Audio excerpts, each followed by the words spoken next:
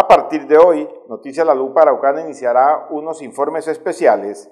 Esta vez llegamos hasta el Coliseo Cubierto del municipio de Arauca, que está en total abandono.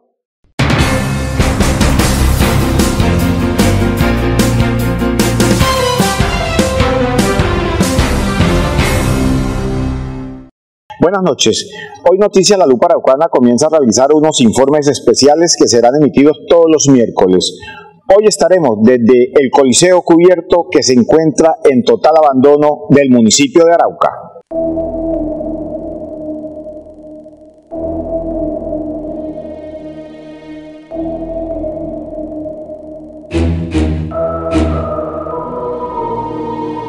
Desde hoy y todos los miércoles, Noticias La Lupa Araucana inicia una serie de informes especiales. Es así que comenzamos con el Coliseo Cubierto del municipio de Arauca, el cual fue abandonado por las administraciones pasadas y prácticamente se deterioró este escenario deportivo. Es así que los delincuentes desvalijaron los baños y lo más grave es que el piso maderable, que muchos municipios del país desean tenerlo, pues se pudrió por el abandono de los gobiernos. Este coliseo es un coliseo cubierto, abandonado.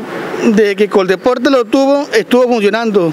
Si uno podía ver aquí, se tuvo la liga de coleo, se, mantuvo, se sostuvo. Después que Coldeporte se lo pasó, se le acabó el comodato y se lo pasó a la alcaldía, eso se vino de para atrás de a uno como habitante del barrio y viviendo aquí en el barrio le duele las cosas, le duele ver cómo las cosas se deterioran.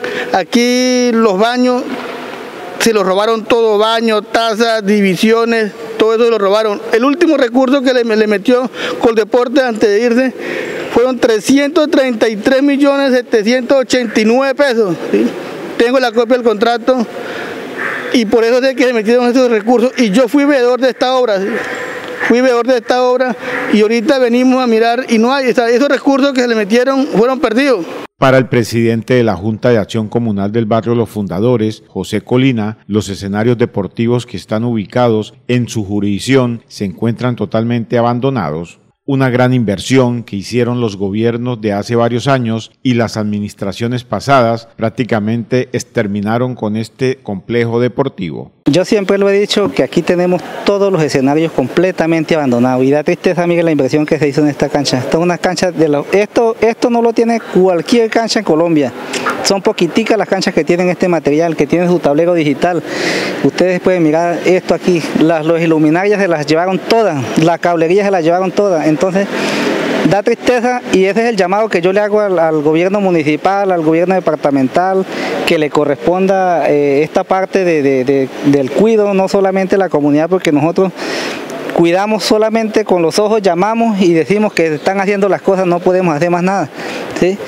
Y da tristeza de que ellos no le pongan el, el amor a esta vaina, una vaina con tantos recursos que se ha gastado en esta vaina, que se le ha invertido, que se le ha generado y donde se puede estar generando empleos para la comunidad y, y esté en esas condiciones. Da tristeza, la verdad da tristeza. Una que ha sido muy crítica es la edil de esta comuna, Carmen Pérez, quien dijo que la Policía Nacional hace caso omiso al llamado de la comunidad cuando ven a los delincuentes cuando están desvalijando el coliseo cubierto del municipio capital muy preocupado de lo que está pasando aquí en el barrio porque hombre, yo le hago un llamado encarecidamente al coronel de la policía que hombre, que en verdad le diga a los policías que hagan algo, porque si se están robando, están esvalijando el coliseo y están viendo la persona que está ahí, hombre, ¿por qué no lo detienen? ¿Por qué no se lo llevan?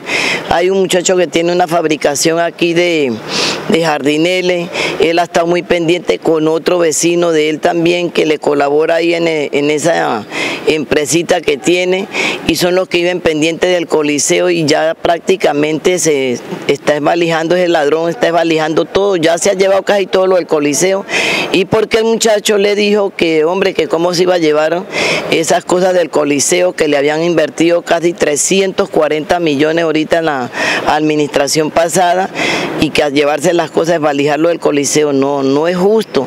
Entonces la verdad yo le hago un llamado al alcalde al gobernador de que en verdad pues que presionen la policía porque si agarran el ladrón y lo sueltan, entonces ¿en qué estamos? Otro de los grandes problemas es que tanto la alcaldía y la gobernación de Arauca de las administraciones pasadas dejaron abandonado este escenario deportivo que prácticamente se encuentra en ruinas por dentro demasiado, eso se le dijo la vez pasada, se le pasó oficio ya al municipio, a la gobernación, por ahí pues este por intermedio de Gregorio Reyes, que para que el muchacho gestiona, se mueve en Bogotá, consiguió recursos para hacerle eso lo que le hicieron, eh, la que le cambiaron la malla, que le pusieron una parte de paredes en bloque y pero no, lo de la cancha no le han puesto ese tablero que le pusieron a la cancha. ¿Usted cree que es tantísima plata que costó eso? Pero resulta que dejaron la, la cuestión del, del techo muy cortico, cuando llueve venteado, el agua se mete. La otra es, Carlos, vea que esa tubería que le colocó ese ingeniero que agarró ese contrato de hacerle ese arreglo aquí al coliseo, le puso toda la tubería porque eso quedó en perfectas condiciones y resulta que el tipo ladrón se llevó todos los tubos, los que no se ha podido llevar los tiene cortados para llevárselos. Entonces la verdad que es muy triste, Carlos, que inviertan tanta plata para que no se valore esto y la verdad es que eso ya, ya toca que cambiarlo.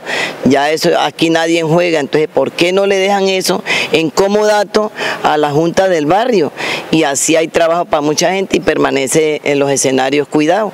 Uno de los diputados que acudió el llamado de la comunidad del abandono que se encuentra el Coliseo Cubierto del municipio de Arauca fue John Germán Martínez del Partido Conservador. Pues gracias a la comunidad pudimos hacer esta inspección ocular de cerca y, y esto hay que recuperarlo hermano, esto no hay que seguirle metiendo plata por meterle y para legalizar recursos.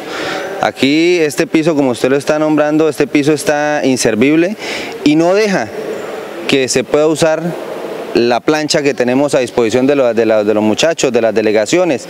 Es importante que vengan y la intervengan, pero la levanten, pero no saquen un contrato para venir y levantar, para venir a hacer una limpieza. Hombre, hay conmigo personas que podemos venir en la misma comunidad, venir a hacer un aseo, venir a buscar, a, contar con las volquetas del municipio, con, con el personal del departamento que quiere venir a meterle mano a esto y que nos duele que las cosas estén pasando así. Esto está deteriorado, se lo comió el comején, se lo comió la termita y ya no sirve para absolutamente nada. El líder político que realizó una inspección también confirmó que los baños fueron desvalijados por los vándalos. Estaba haciéndole una inspección arriba a los baños, a toda la zona de, aseo y eso está, no hay nada. Se robaron los lavamanos, se robaron los baños, los orinales, las divisiones. Aquí abajo nosotros vemos que debajo de esta plancha ahí es un nido de murciélagos, de absolutamente todas las porquerías que la gente quiera venir a hacer, Carlos, y esto no puede seguir pasando. Aquí no podemos seguir trayendo plata. Tengo entendido que esta cubierta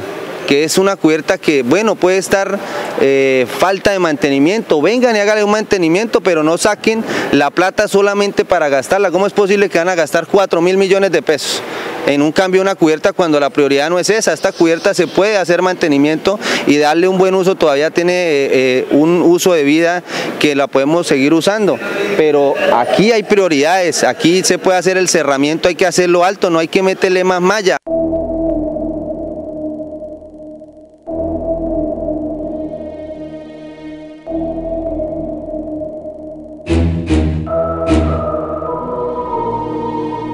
La pregunta que la mayoría de los araucanos se hacen y deportistas, ¿saben ustedes cuánto cuesta nuevamente un piso maderable para el Coliseo? Algunos dicen que más de mil millones de pesos, otros dicen que más de dos mil millones de pesos, o sea, que los comejenes se comieron esos mil millones de pesos por el abandono de la administración municipal de Benjamín Socadagüí y la departamental Ricardo Alvarado. La comunidad se preguntará ¿Cuánto costará la recuperación nuevamente de este coliseo cubierto del municipio de Arauca?